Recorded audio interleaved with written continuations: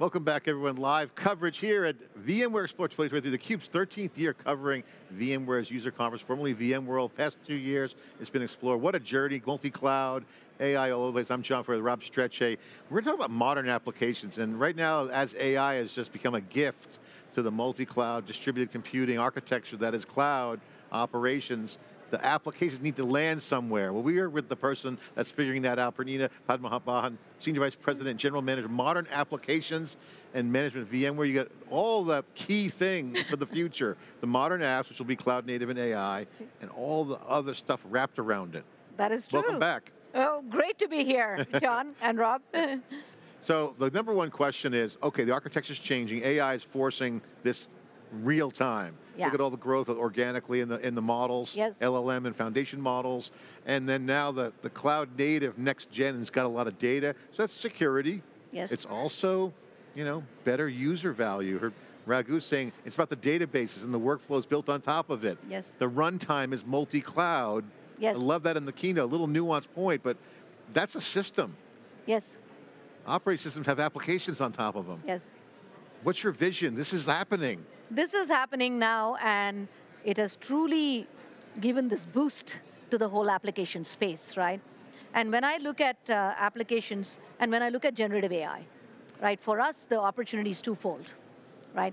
One is, how do we use generative AI in our own solutions to make it easier for our customers, platform engineers, the yep. developers, as well as the ops. And that is basically using conversational AI. You heard a whole bunch of announcements Tanzu Intelligent Assist. So I'm sitting on a pool of data with my management solutions, right? Logs, metrics, traces, application information. How do, they, how do I make sense out of all of that? and so one is really making it available in a conversational term. So I could go and say, where is my application? What is the problem? How should I fix it? You're asking the assistant. So that's one pool of solutions. The second one, which is the opportunity you talked about, is how do we curate an environment? Yeah. You've already got, Raghu already laid out the private AI foundation, but then how do we also create an application foundation? Yeah. An application platform, where out of the box I have accelerators that tell me, hey, you want MLflow, you want Spring, and you want the following LangChain, you're following LLM models. That's all I pick, and everything gets curated for me. Yeah. So that is what we are going with the Tanzu application platform. Last year we talked a lot about simplifying, single pane of glass, abstraction, observability, making everything work. Now AI hits the scene. Hugging Face, these new models are out there. And you can almost think about connecting the dots by saying, okay, and, and I'm going to go there, I want you to get your reaction. If AI apps start hitting the workloads, you can, you can essentially automate away faster yeah. all the, you mentioned observability, all these, a lot of things going on under the covers. Yes. You can almost have like AI for that, a bot for that, or an AI assistant. It's kind of like, are you creative or are you more of a math person? It's like left side, right side of your brain. You can have AI that can do these things. Absolutely. And do it all faster. Absolutely. And also make it more accessible, right? That is the main part. Like, okay, I have to write a query to get something, or I just say, hey, tell me what's wrong with my application, you write the query and get me what is wrong. And that is when you, when you have the data together, that's the power that we have. So last year's foundation turned out to be perfect, right? So last year with the hub, ARIA Hub now, which we have labeled yeah. Tanzu Hub, we aggregated all the data.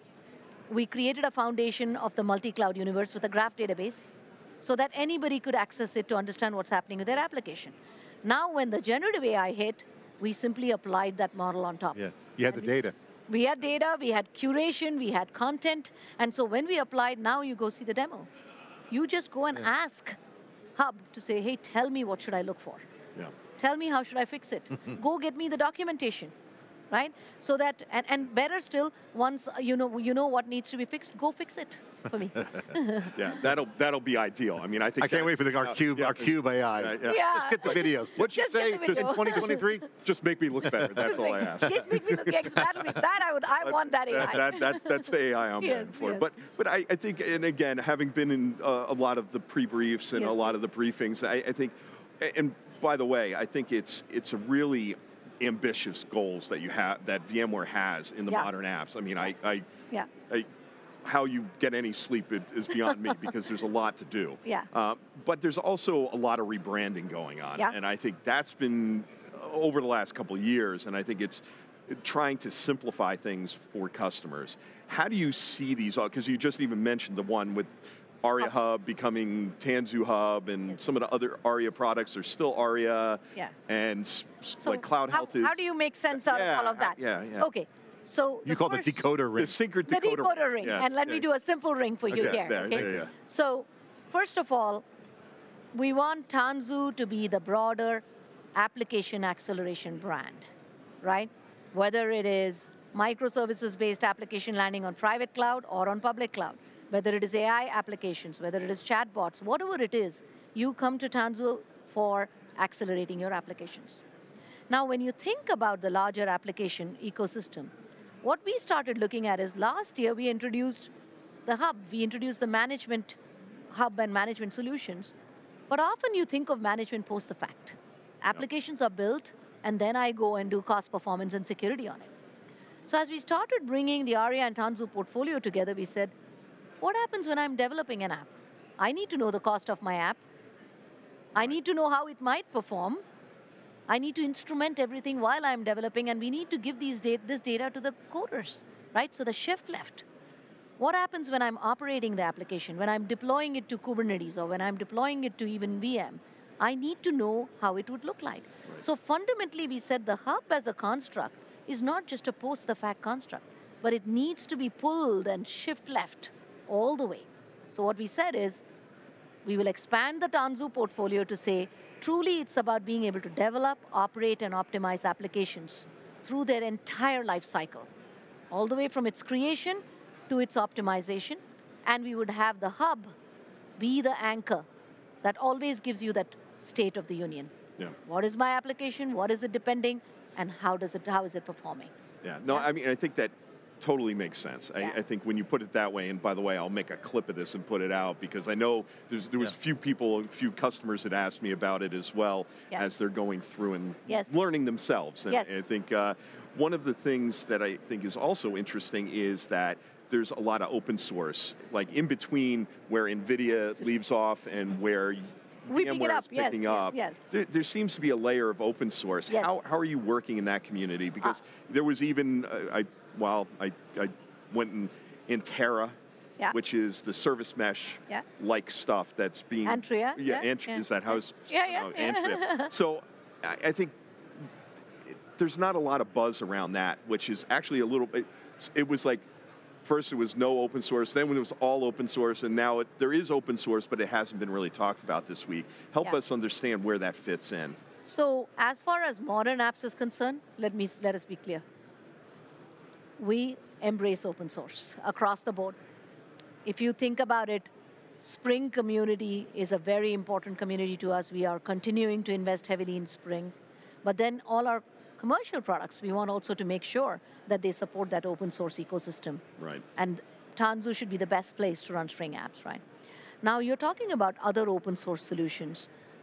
The model, and this is where the model and tenets we established last year with ARIA still apply to all of Tanzu also now, which is it's a plug and play model.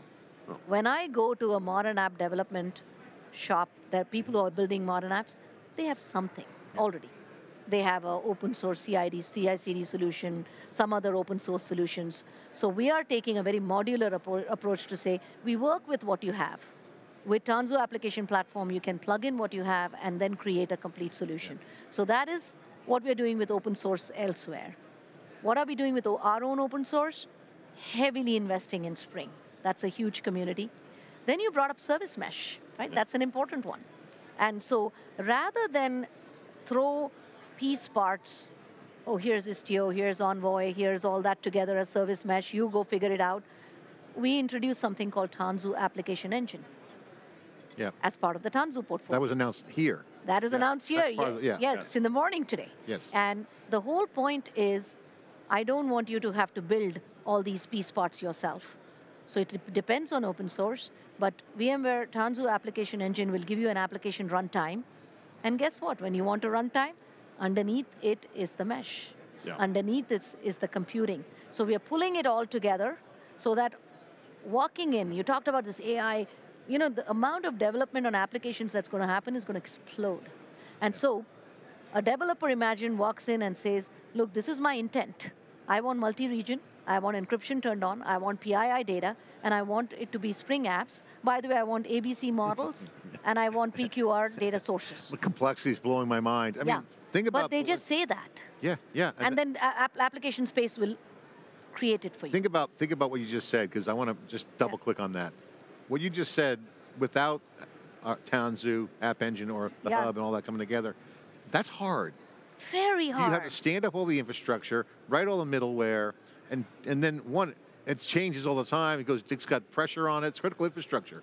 So the question we're seeing, or the question that I'm Yeah. asking, because people are asking me, is that I'm going to build. I want to build the best AI apps. Now, Yes. so one, what does that mean? So that's Yeah. the first question. And then who's the DevOps team, the platform engineering team that's going to set that up?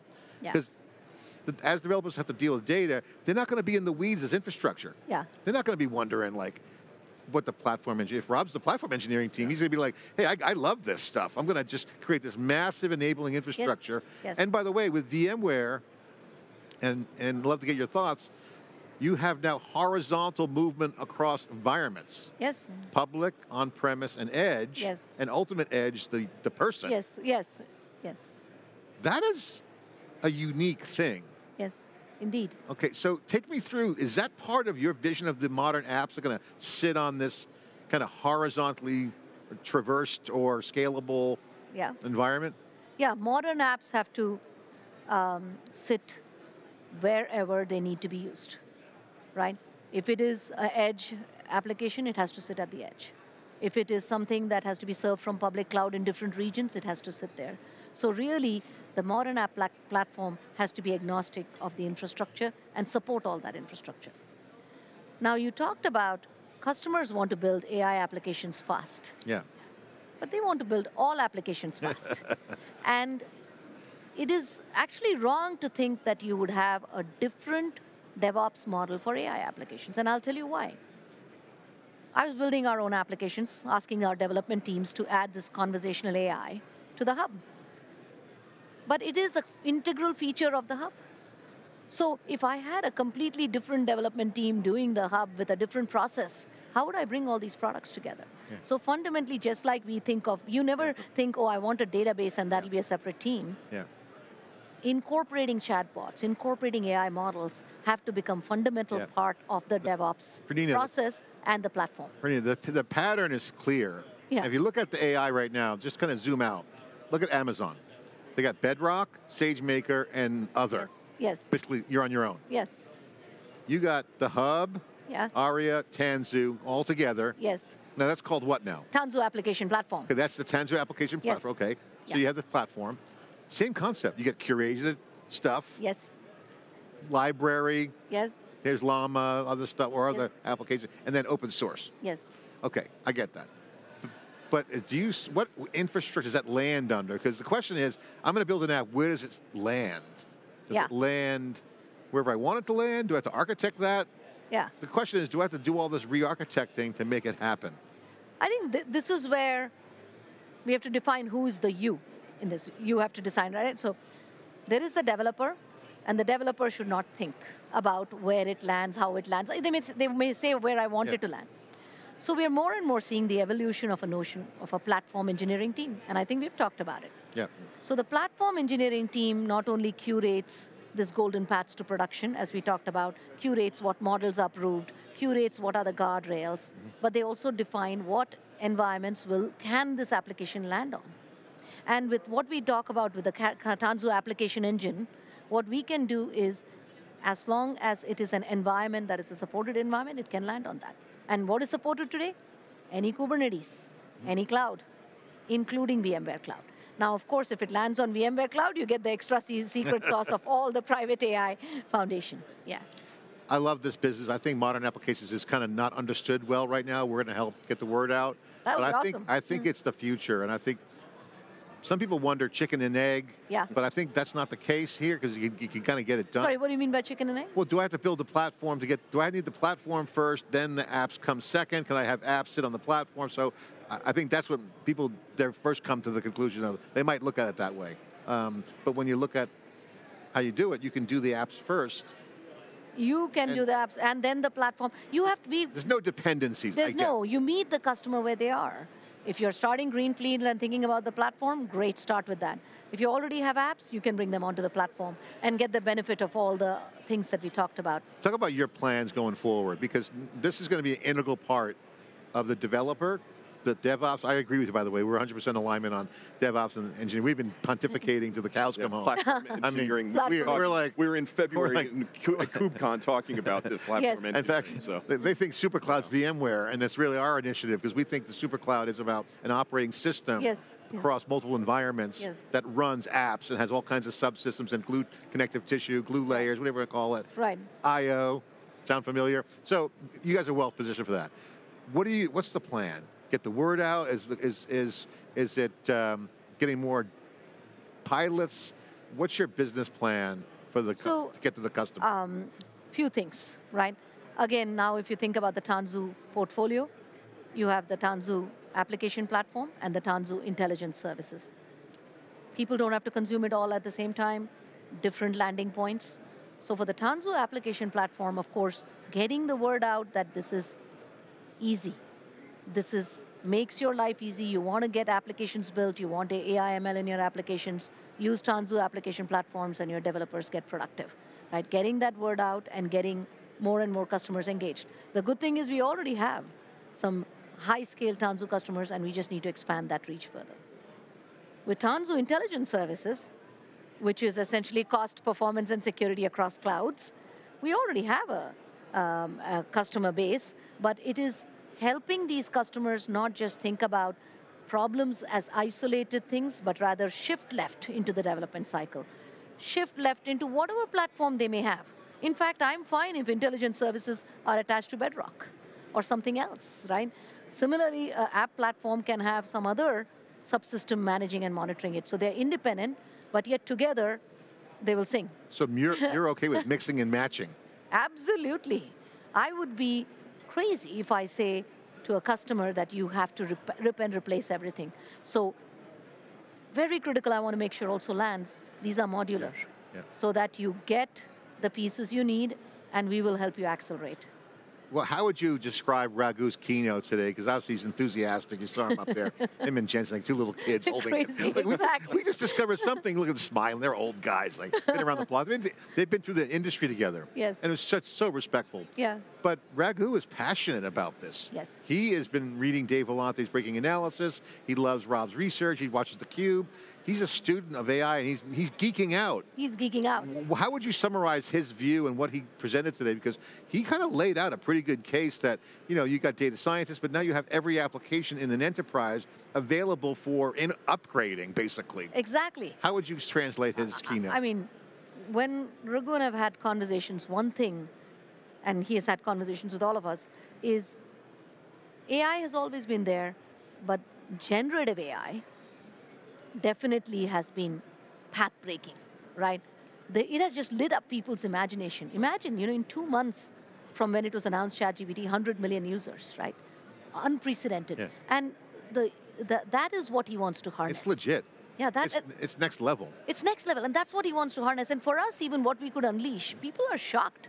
Go optimize the cost for this, and by the way, you just ask it in English. That's crazy, right? And so the power to transform healthcare, the power to transform legal, the power to transform customer success. There are some areas that are such so ripe for transformation, and you know, thought of as old and stodgy right? We can really bring that power here. So Raghu, that is why he's so excited. It's not just the technology, but the transformational power of that technology that makes him excited. And then that is why we spend all this time, you know, in frenzied effort to say VMware has to be the best place for people to land Yeah. in order to do that transformation. Right. you know, I was, it, I, I love, first of all, I think it, that the AI is legit. Foundation models, it's just changing the game at many levels. But I feel younger, just like because of it, because it's such a game changer. It is. It From a computer science standpoint, from an operations standpoint, so I can I can see how it's a fountain of youth for us old system thinkers, like like you know like because we love it. And so I met a startup who's young young guys. Yeah, They're under yeah. 30. they have built an app, uh, a, a system that integrates into Slack and where the workers are, and you just issue commands right there in Slack Yeah, to the team Slack. yeah. Provision my Kubernetes, just goes out and Yeah, does yeah, it. yeah, so yeah. you're starting to see the ease of use coming into applications. So it's not just apps themselves, it's functionality in other It apps. is our space. Yeah. Right? It's functionality that has been traditionally our It's space. that- personalization. yes. Yeah. Personalization is coming to IT. And I, I mean, that's a mind mind bender right there. Yeah, and I think also it's it's you have the the big LLMs and the big players and the big models, and then as you get down, there's actually and Dave Vellante, John and I went through this power law type where there's just a really long tail of these specialized or Correct. segmented Correct. language models that Yes. are going to be used. You And- see the number, right? yeah, and, I, and I think that seems where seems to be where you guys are going with some of the ones that you're in, you know, are going to talk about today and tomorrow. I know I don't want to give away any of the keynote from Yeah, tomorrow, but yeah, yeah. it seems like that that is an objective. Yeah, I mean, there are uh, probably two different objectives. From an app platform perspective, I embrace all models. Seriously. Yeah. Because what we want to do is make it, make it easy for people to develop apps and put those models at their fingertips. And you'll see some of those demos there. Um, and then from a, from a making systems management easy, the Slack example you get, I would take a look at what we are doing with Tanzu Intelligent Assist, right? Yeah. That is next level game changing. And what I tell customers is you have to be ready to capitalize on the opportunity. And that's the boring part. Like we did the boring part last year. Yeah. You know, hard part of bringing everything into a graph database, normalizing the data. So this time we could just turn it Well, on. There's no such thing as luck. Preparation meets opportunity. Yes, Is yes. You guys have done a lot of work. And by the way, you know, with our transcript example of the cube, people who are hoarding data and doing some foundational work around platforms Yeah. Were well positioned because they got the data right for what you were doing. And in ARIA, I think you nailed that last year. It's pretty obvious that you had that right. But now AI is a gift. AI is a gift. The generative AI is a gift to you Yes. and your customers. Yes. Because it takes away all the mundane stuff Yeah. and makes it smarter. Exactly. And and also things that if you think about it, why should somebody have to know that for a multi-region I have to call these 25 commands to create all those clusters? Why should somebody have to know that? it's gonna it's gonna be that is what's the it's gonna create a, it's gonna create a creative class in IT. I mean, as tech as tech lovers, we love tech TV. It's going to create a creative class in technology that we've never seen before. Cambrian, Cambrian explosion, because the, the AI will handle stuff. AI will handle The, the- stuff. the manual labor and/or boring, grinding, toil, whatever you want to call it, configuring and all the stuff that you have to do. And more importantly, I mean, we have had AI for a long time, but now you can speak to it in English. Yeah, yeah. I think that's the power, It right? Which is, uh, I was showing a demo to a, this um, Tanzu Intelligent Assist to our teams, and they just went crazy. You know, Yeah. people were just, wow. you know, it's like systems engineers who have looked at this and said, my goodness, I want it tomorrow, right? Well, great to have you on. Good to see you. Thanks for sharing all that data and enthusiasm. We went off a tangent a little bit there, getting excited about the technology. Exactly. You guys are well positioned. Tanzu application platform, the benefit area in Tanzu. We got in spring. Congratulations on the spring. Give a quick plug for the Spring One conference you just had. Give it got 30 seconds. Yeah, Spring One conference was uh, fantastic. This is the first time we have converged it with VMware Explore. Packed audience, standing room only, and uh, the enthusiasm of that developer uh, or, or, you know community is just amazing, and we'll continue to double down there. Thank you so much. Senior Vice President, General Manager of Modern Applications for VMware. Big part of the focus of the next gen VMware. Of course, we got all the coverage here on theCUBE, bringing you the data to you. Soon there will be AI boss. I'm John Furrier, Rob. Thanks for watching.